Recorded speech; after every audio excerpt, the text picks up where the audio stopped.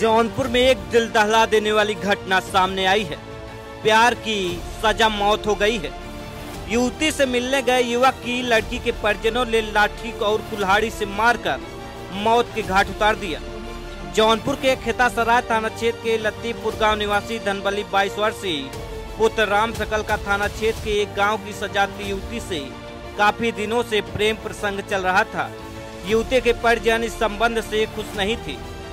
शनिवार की रात जब युवक युवती के गाँव में पहुंचकर मुलाकात कर रहा था, यह बात युवती के परिजनों को पता चली तो वह मौके पर जाकर युवक धनबली की लाठी, डंडे व कुल्हाड़ी से बुरी तरह पिटाई कर अपने घर लेकर चले गए। युवती ने यह बात युवक के परिजनों को बताई, जिसके बाद परिजन पुलिस को सूचना देते हुए युवती के घर आ धमकी। पुलिस मरणासन्न हो चुके युवक को रात में पीएचसी सूधी ले गई।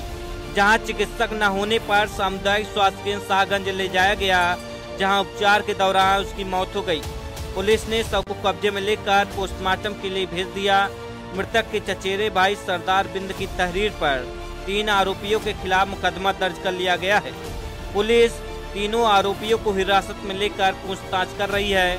मृतक युवक धनबली अविवाहित था तथा घर पर रहकर खेती का काम करता था।